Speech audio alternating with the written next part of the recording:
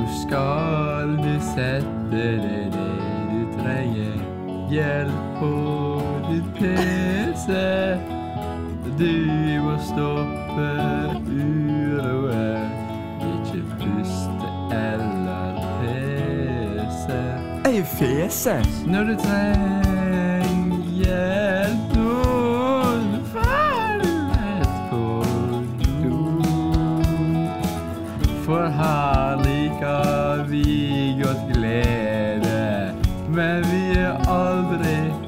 aldri til stede. Fordi du kan ikke rite riktig ut av IKT. Nei, du kan ikke rite riktig ut av IKT. Du kan heller ikke rite riktig ut av IKT. Du kan ikke rite riktig riktig ut av IKT. Du kan være sikker på det. Sikker på det. Sikker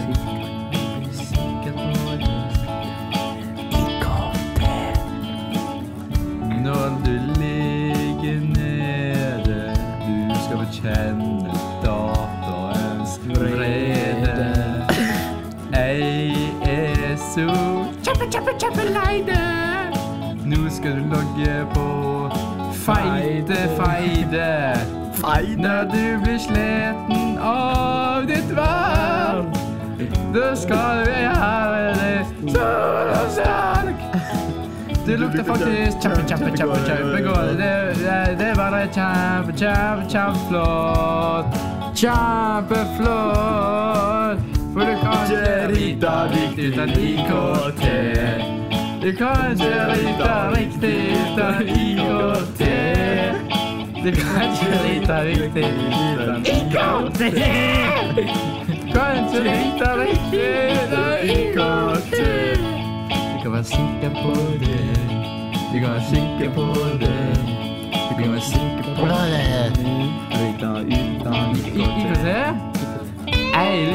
på å ha på IKT. jeg nå. Har du det? Ja. IKT, ja. Ja, veldig bra, det. Jeg bæsja på meg. Nei, ikke nå i dag, men Jo, i stad. IKT ligner litt er kåte. det er faktisk helt sant, Stian. Nei, Du kan ikke skrive uten IKT heller. Nei, ikke dikt heller. Ikke, nei, Ikke riktig heller. Rikt, nei. Ikke svikt. kvikt. Nyresvikt. Nyresvikt er ikke bra. Dikt. Nei. Nei. Svikt. Hjertesvikt. Det er masse ord på IKT. Du, hvis jeg gikk alle på IKT lukter bæsj. Det er, Utenom, utenom alle. det er faktisk sant. Mange lukter jordbær med. Ja, det ligger godt da. Jordbær er godt. Men du må huske på at det er bare to typer jordbær. Blåbærjordbær. Da, det er jord. Det er, Nei, jævlig godt. Det er blå jordbær, har du smakt, jordbær uten sukker på? Ja, Det er annet. ja vaniljekrem med. Vaniljesaus. Vanil oi, vanil vaniljekrem. Vaniljesaus. Her på IKT. Her på IKT lager vi vaniljekrem sjøl. Ja, hvis du skjønner hva jeg mener. Mm. Du, Steffen, så godt du hadde fese. Ja. Det lukter jordbær. Ja, jordbær, ja. Det lukter jævlig godt. Brownies med det, eller? Brownies. Ja. Jordbær brownies fis. Det er det jeg bruker. Ja. Ja. Ja. IKT. Liker det? Ja, viktig. Ja. Du kan være sikker på det. At hvis du ikke er rita viktig uten IKT.